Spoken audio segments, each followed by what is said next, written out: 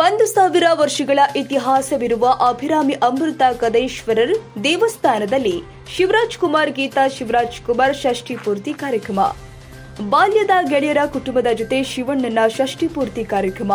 ತಮಿಳುನಾಡಿನಲ್ಲಿ ಪುರಾತನ ಕಾಲದ ದೇವಸ್ಥಾನ ಹಾಗೆ ತಿರುಕಡಯೂರ್ ಎಂಬ ಹೆಸರಲ್ಲಿ ಈ ದೇವಸ್ಥಾನ ಪ್ರಸಿದ್ಧಿ.